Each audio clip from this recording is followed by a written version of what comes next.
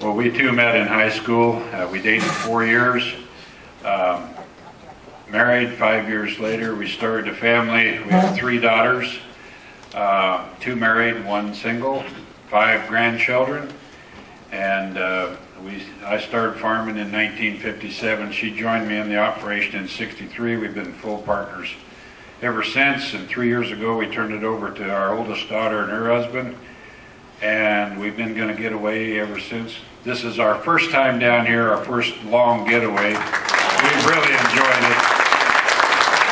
Met some terrific people, and we'll be back again next year. But thank you uh, for this celebration, and uh, we appreciate it.